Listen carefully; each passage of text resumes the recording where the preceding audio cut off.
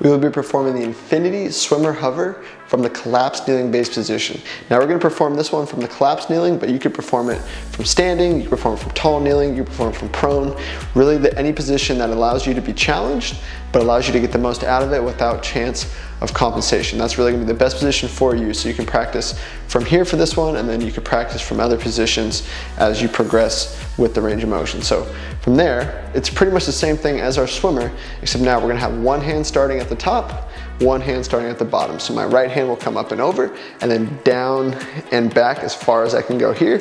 My left hand will come back behind my body and come up as far as I can. So from there, I'm just gonna take a breath in, create tension, elbows drive back.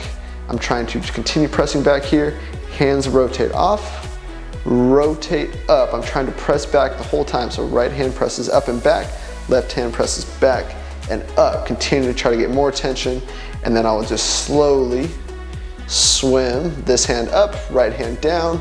And now I will find myself at opposite ends of that range of motion. This hand continue to try to drive back, both hands pressing back into that wall behind me. And now I bring my left elbow down, right elbow up, continuing to try to drive back, try to bring that left hand as far down the back as I possibly can, right hand up.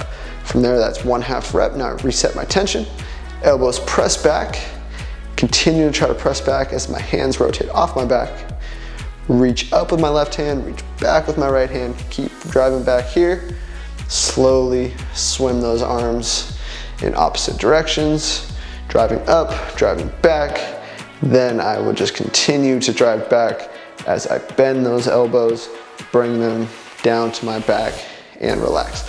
I'll perform one rep facing you and then I'll perform one rep facing the wall so you can get more of a posterior view of what's going on here. So I'm just gonna turn around. From there, I'll just set, set myself up in the same position, right? So I got right hand up and back, left hand back and up. From there, elbows press back. Try to lift my hands off my back as much as I can. And then I would just reach right hand up, left hand back, keep pressing back behind me. Then I will swim, left hand up, right hand down. Get as far as I can, keep pressing back, keep trying to get more out of it the whole time. Bend those elbows, keep reaching, keep reaching, keep reaching. Get as far up that back as you can.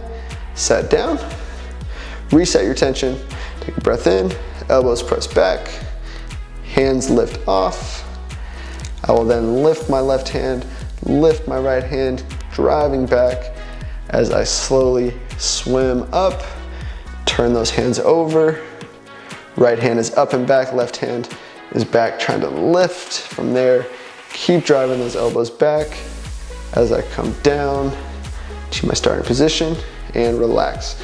So that is the Infinity Swimmer Hover from the collapsed kneeling base position.